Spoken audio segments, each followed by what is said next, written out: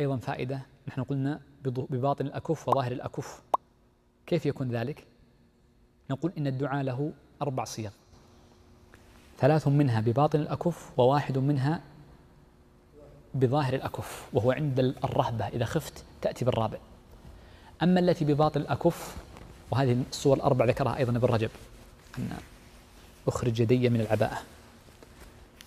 أما التي بباطن الأكف فالصورة الأولى أن يجعل باطن كفيه قبل وجهه وقبل السماء. كيف؟ هكذا. تجعل باطن كفيك قبل وجهك أنت تشوفها.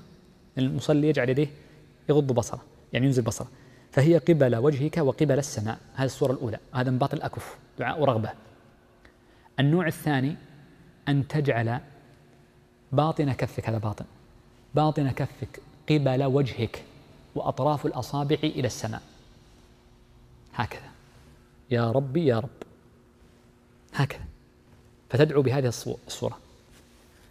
الصورة الثالثة أن تجعل باطن كفك قبل السماء وظاهرهما قبل وجهك. شلون؟ حول حول صح مش شلون يا شيخ؟ أن تجعل ظاهرهما لوجهك. ظاهرهما لوجهك. وباطنهما قبل السماء. هكذا.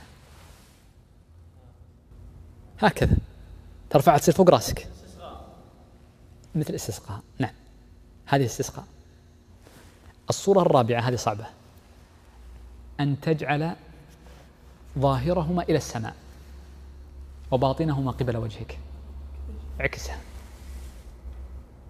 ولذلك هذه تكون حال الرهبة. مثل ما دعا النبي صلى الله عليه وسلم يوم بدر فكان رداؤه مثل ردائي ماذا يفعل؟ سيسقط. من رفع يديه بهذه الطريقة يا رب يا رب. خلاص. خائف أنت. شوف يا رب.